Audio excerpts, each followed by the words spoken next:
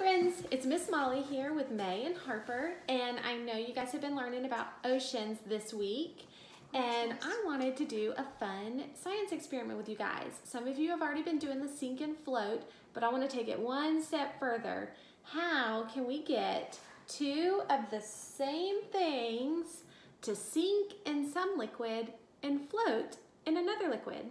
Because if you put the same thing in the same water, it should do the same thing. But if you have the same thing in two different liquids, I think we're gonna see something different happen. So I've got some of my supplies together. We have two eggs, regular eggs. They haven't been cooked, so hopefully I don't break them. I have got Some Salt. salt. six tablespoons of salt, and I've got two jars that are the same, so they should look the same. And I have a big pitcher of water, just plain water out of the sink. So my girls have already put some salt in our little dish, and we've got a spoon we're gonna stir it up with, and I'm gonna put plain water into this jar.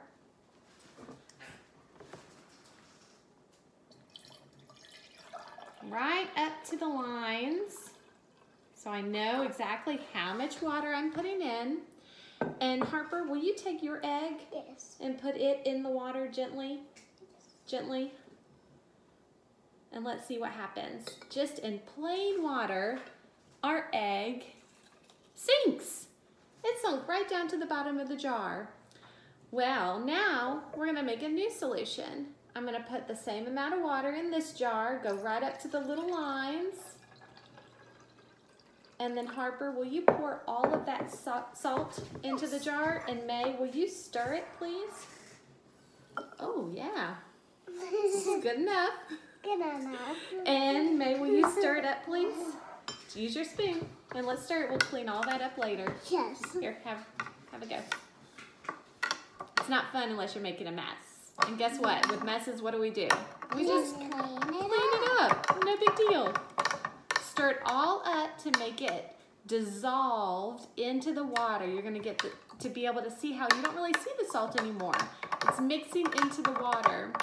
And what happens is it makes the water more dense. And dense is a word you guys will learn a lot later, but it makes it a little bit thicker. So the egg that floated in the regular plain water, it might do something different in this dense water. The salt water is a little bit more dense. All right, let's see what happens with this egg. Put the spoon down. And Mae, will you gently put this egg into the salt water? I don't know if you guys can see. There it goes, floating around. Where is it? Is it at the bottom of the jar or the top of the jar? Top. So what does that mean the egg is doing? Floating. It's Floating. floating because the egg is not as dense or as thick as the water is. The water is making the egg float. So let's see, I'm gonna try another experiment. Can you put that egg back in there? Now that we know that a lot of salt will make the egg float and no salt at all will make it sink, I wanna see if we can come somewhere in between. So Harper, will you start adding some spoons of salt to our plain water? How many is that? One. One, Keep going. two, three, four, five.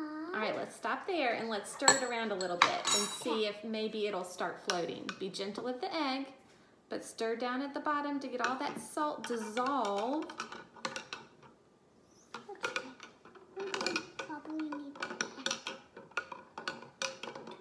Gentle and stir. Let's get down in there at the bottom of it and see if we can get some of that salt mixed in.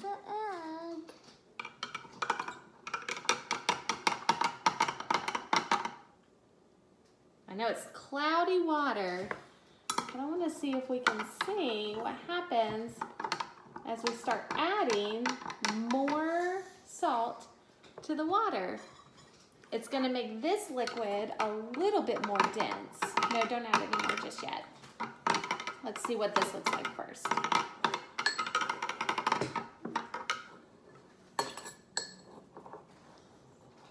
It's not really floating. It's not really floating, not yet. So what does that mean we need to do? More salt.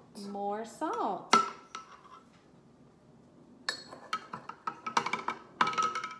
Okay, let's stir those two tablespoons in and see what we've got.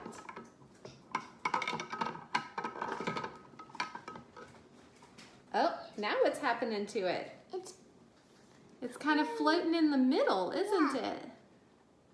It's bouncing around because I stirred it, but it's hovering not up at the tip top, not down at the very bottom, but right in the middle. So this has a lot of salt in it.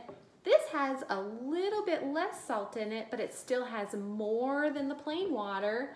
So it's a little bit more dense and it's gonna make our object float. Now the reason we're talking about salt water is because our oceans are made out of salt water. So maybe this summer, if you guys are swimming at the beach or you're swimming at your regular pool that's not salt water, you'll realize how it might be a little bit easier for you guys to swim and float in the ocean as opposed to swim and float in your swimming pool because that salt water is going to make you float to the top. I hope you guys can try this at home and maybe there's some other objects we can try. I wonder what would happen if we used a toy, the same toy with the same jar with the same amount of water, but only changing how much salt you add to it to see if that will sink or if it'll float.